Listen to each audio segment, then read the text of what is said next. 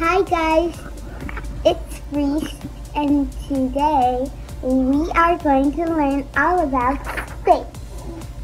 Ta-da!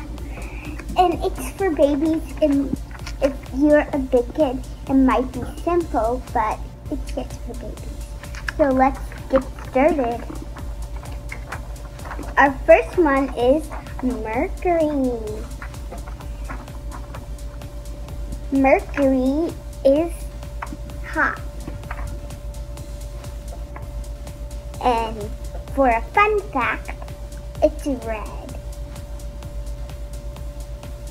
Venus has rings. And for a fun fact, it's cold.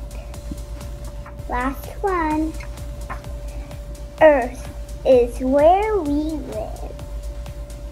And for a fun fact, the water, the water is the blue part and Antarctica is white and the grassy parts are green.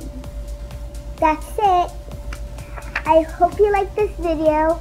Stay tuned for the rest of the um, the rest of the planets on our universe. Bye!